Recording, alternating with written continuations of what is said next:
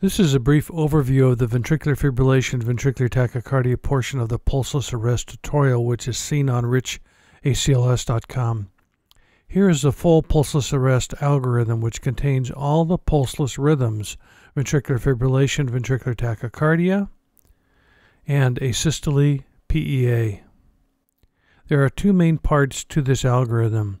The ventricular tachycardia fibrillation side, which can be fixed with defibrillation, and the asystole PEA side, which requires therapy other than defibrillation. The tutorial we are reviewing in this video is a brief overview of one of the teaching tutorials at richacls.com. The asystole PEA side is covered in a separate tutorial at the website.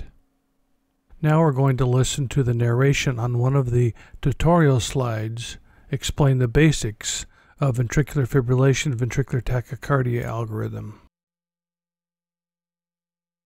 This page will briefly discuss the ventricular fibrillation ventricular tachycardia branch of the pulseless arrest algorithm.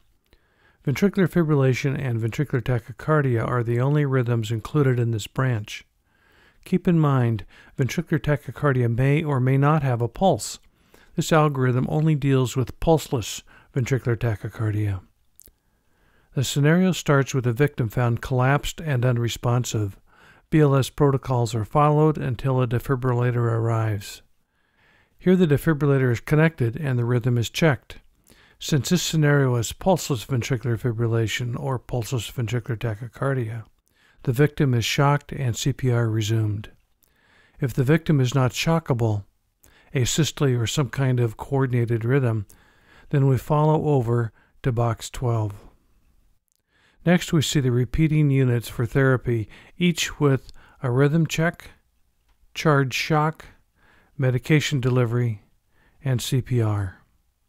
If there is no change in the rhythm, then this therapy repeats until the code is ended or the medications change.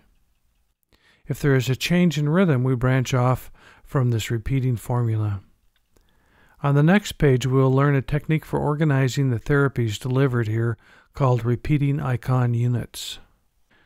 That is the end of this tutorial overview. The repeating icon unit concept is part of the PEG learning system, a memory method used at richacls.com to commit algorithms to memory. You can see this and other videos by searching Rich ACLS.